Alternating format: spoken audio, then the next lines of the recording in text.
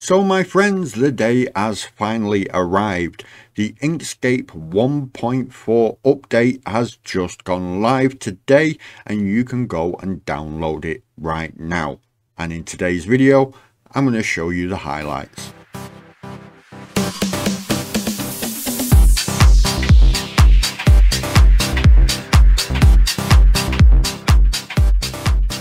Hello my friends, Rob here from Button Press Graphics back with another Inkscape update video. Today I'm going to show you all of the highlights that I am particularly excited about when it comes to the 1.4 update. So without further ado, let's get started.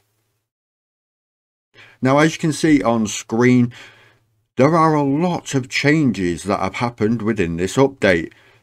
The highlights that I'm going to cover in today's video are going to be the filter gallery, the extensions gallery, modular grids, swatches have had an update along with the gradient editor, unified font browsers, shape builder clipping, and a completely new icon set too.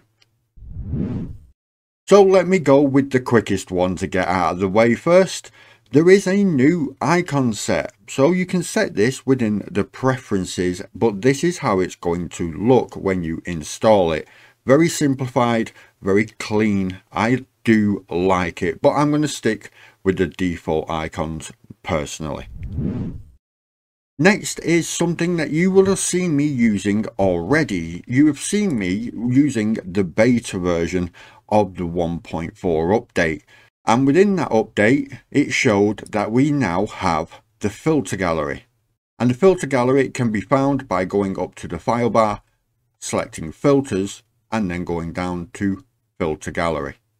Now, of course, I've already run through this in a previous video, but for those of you who didn't see that, when you select an object with your filter gallery open, you can now select any of these filters and see a little thumbnail of what kind of effect will happen. So let's say we took jigsaw piece for example. As you can see the filter has now been applied onto my object. This is non-destructive so you are free to undo as much as you want. And you can of course search by going to this bar here if there is a particular filter you want to use. Next is the extensions gallery. Yes, that's right, there is a gallery for the extensions too. I didn't see this one come in, but I am really happy that it's here.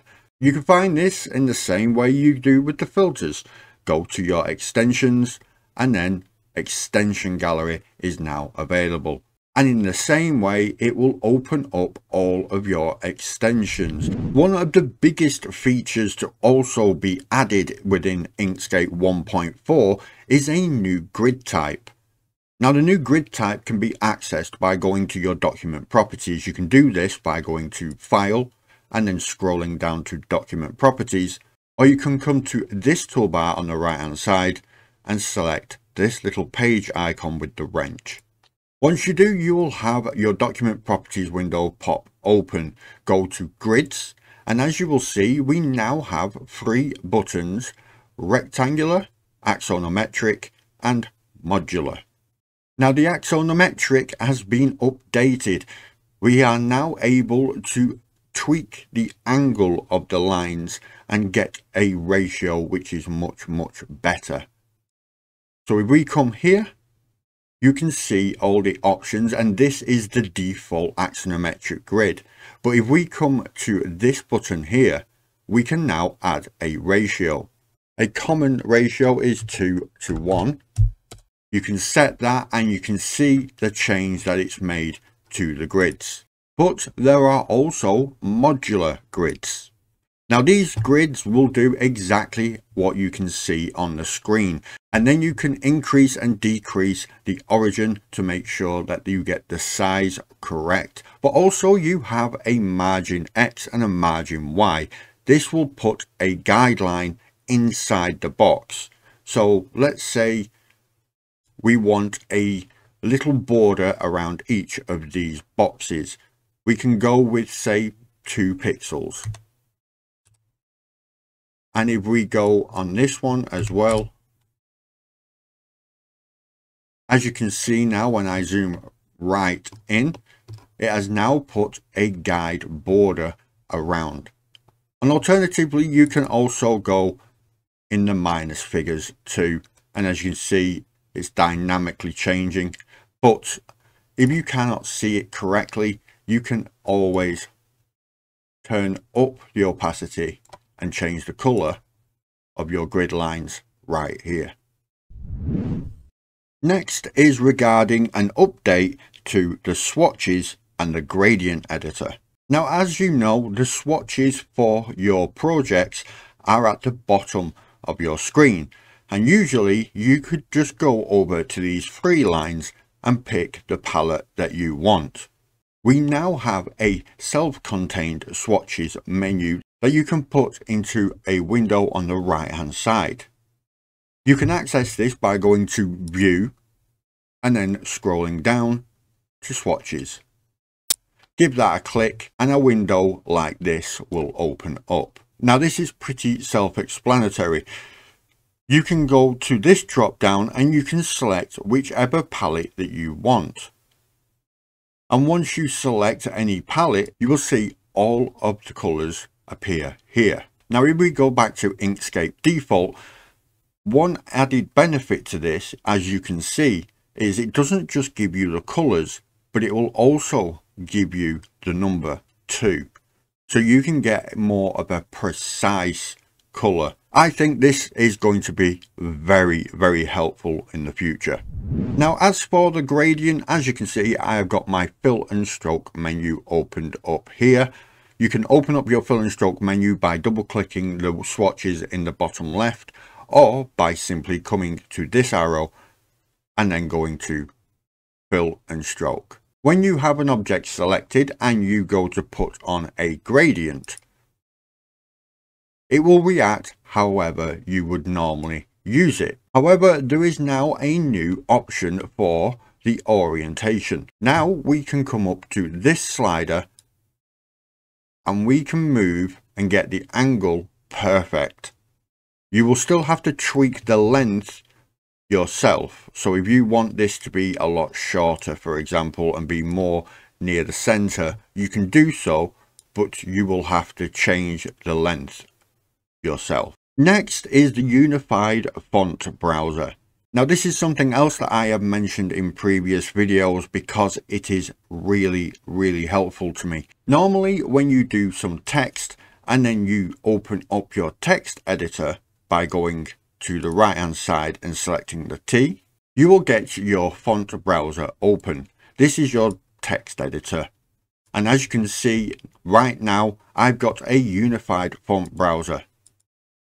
This means that every single font that I have installed will come in order of their styles. So normally you would select the font on the left hand side and then select the style, for example, bold, italic, super bold, underlined, that kind of thing. You will have all of them on the right hand side. However, the unified font browser will give you a list underneath that you can scroll down through. And of course, by selecting one of them, it will automatically change on the left hand side. Then you can use the arrow keys or you can simply scroll using the mouse wheel to select the font that you want. Now the last and most interesting part for me is the new feature from the shape builder. Normally, if you wanted to cut out part of a rastrified image like this, a pixel-based image, as you can see in the bottom, then you would have to normally draw a shape around the part that you want to select, then right click and go down to the bottom of the menu where you would see mask. So even if I was using the pen tool and I selected an area around the car. I could easily use this shape, select the picture behind it, and then right click, set clip. And that would clip out the shape that I want. However, say you want multiple shapes cut out from the same picture. Say we wanted to have just the window and then part of the scenery. Just like this. These are just two random circles that I've done, not being exact in any way. And now I've selected them both and the picture. Now we can go to our shape builder tool on the left hand side and as you can see we now have the picture as part of the shape builder project. So with this icon selected which is add we are going to select the circles and then we're going to come up to finish and now we have our cutout pieces but these are no longer joined together either we can now move them independently of each other. And this is also non-destructive. They're clones, so you can right click and release clip at any time and still get your shapes back. So that's it my friend, them are the highlights that I wanted to go over for the new 1.4 update. I am really happy with everything that they have added and of course I will leave a link to what you can see on screen right now which is all the new features and patch notes and all the bug fixes that the Inkscape developers have done an amazing job fixing I take my hat off to the devs, you've done an amazing job and I for one am very happy with the result. Did you know that you can become a member of the Button Press Graphics YouTube channel? Well, now you do. You will get a lot of added benefits and you will directly support the channel enabling me to make much better content in the future. Also, you can send in your artwork into the Creative Corner. This is a regular section where I will showcase your work in a future video. But for now, thank you so much for watching. I really do appreciate it. I'm going to bid you all a fond farewell and I will see you next time.